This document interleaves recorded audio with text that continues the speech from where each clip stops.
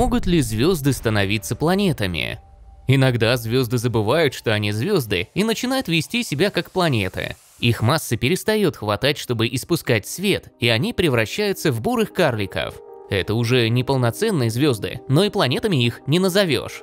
Они слишком велики и находятся в центре собственной системы, как и любая типичная звезда.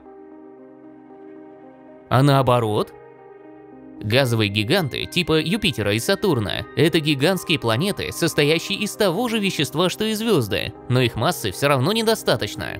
Нужна сотня планет, подобных Юпитеру, чтобы создать одну единственную легкую звезду, и астрономы исключают такое развитие событий. Из чего состоят звезды?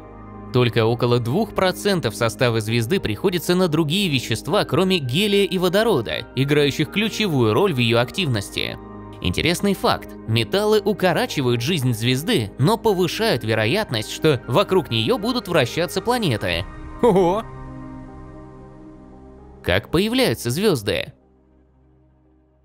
Звезды появляются из огромных облаков газа и пыли. Из-за внутренней гравитации эти облака сжимаются. В какой-то момент они становятся настолько массивными и плотными, что это запускает реакцию синтеза водорода. И вскоре появляется горячая протозвезда. Насколько большой может быть звезда?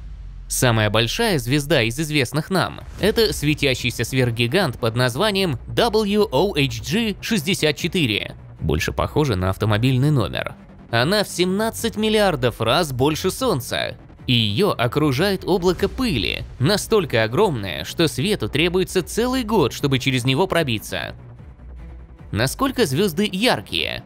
Самая яркая звезда, которую мы видим в ночном небе, это Сириус. Эта звезда настолько яркая из-за близости к нам, а еще потому, что она в два раза больше, и ее светимость в 25 раз выше, чем у Солнца.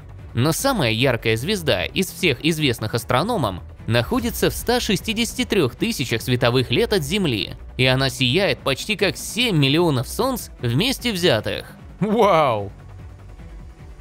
У всех ли звезд есть планеты? По крайней мере, у солнцеподобных звезд обычно есть планеты, и часто они похожи на нашу Землю. Кстати, существует намного больше планет без звезд, чем звезд без планет. Иногда гравитационная сила планет-соседей выталкивает их из систем, и они становятся планетами-сиротами. Это как если бы гравитация Юпитера вытолкнула Землю из Солнечной системы. Было бы неприятно. Движутся ли звезды? Как спутники вращаются вокруг планет, а планеты вокруг звезд, так и сами звезды вращаются вокруг центра галактики. Наше Солнце движется по Млечному Пути со скоростью более 800 тысяч километров в час. Полный круг оно совершает каждые 230 миллионов лет. Мерцают ли звезды?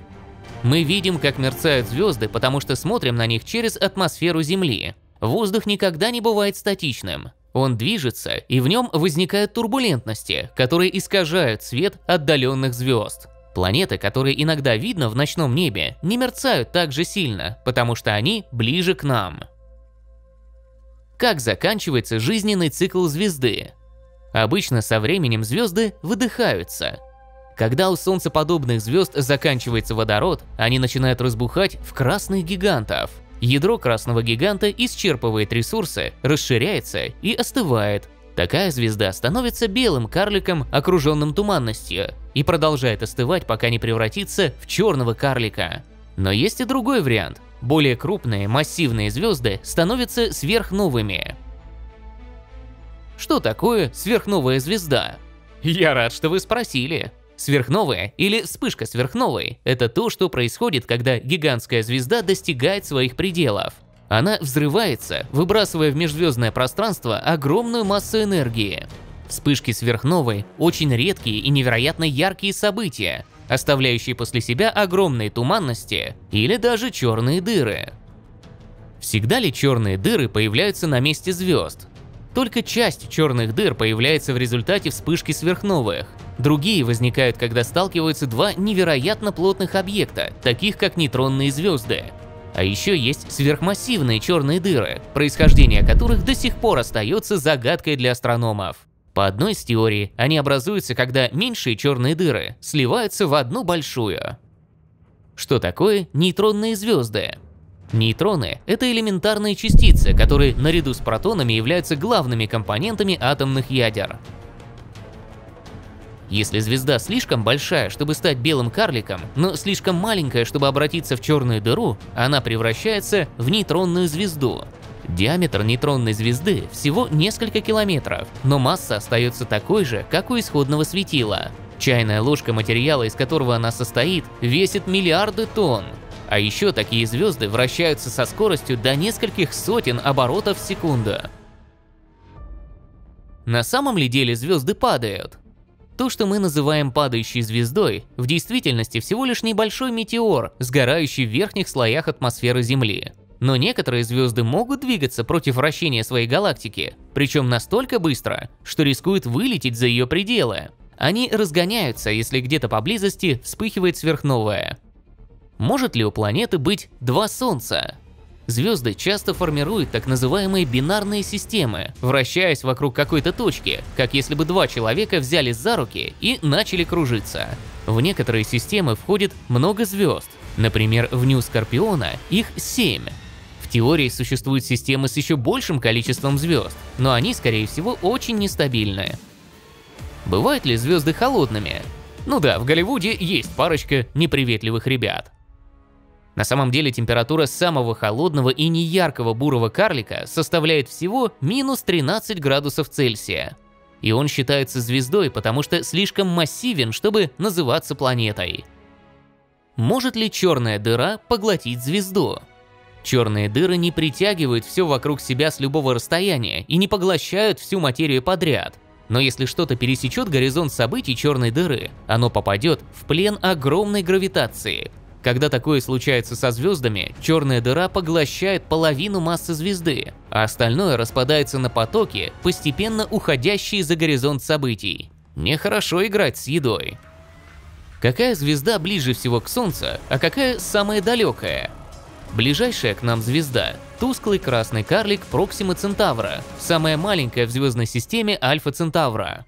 Она находится в 4,2 световых лет от Солнца. Самая отдаленная из известных звезд называется Икарус, и расстояние до нее составляет 5 миллиардов световых лет. Ее можно разглядеть только благодаря гравитационной линзе колоссального скопления галактик. Сколько звезд видно с Земли? Мы видим лишь малую часть из сотен миллиардов звезд Млечного Пути. Остальные либо чем-то скрыты, либо слишком тусклы, чтобы их различить. В ясном ночном небе без портящего обзор постороннего света можно увидеть около 3000 звезд. Еще можно разглядеть планеты, далекие галактики, спутники и даже Международную космическую станцию. Это так интересно! Сколько лет может быть звезде? В свое время астрономы рассчитали, что звезде Мафусаил около 16 миллиардов лет. Вселенной всего 13,8 миллиарда лет. Так что можете представить, как удивились ученые. Дальнейшие исследования показали, что этой звезде может быть 14,5 миллиардов лет плюс-минус 800 миллионов. Да, нужно внимательнее считать свечки на именинном торте. Мы до сих пор не уверены, что звезда может быть старше Вселенной. Более вероятно, что она появилась вскоре после Большого Взрыва. Сколько всего звезд во Вселенной? Пока ученые лишь строят догадки, основываясь на том, что в наблюдаемой Вселенной около 200 миллиардов галактик. Галактики бывают разные, но в среднем в одной достаточно массивной может быть до 100 миллиардов звезд. Попробуйте посчитать сами. У меня уже закружилась голова. Если сегодня вы узнали что-то новое, поставьте лайк этому видео и поделитесь им с друзьями. А вот еще крутые ролики, которые могут вам понравиться. Просто нажмите слева или справа и присоединяйтесь к Эдми.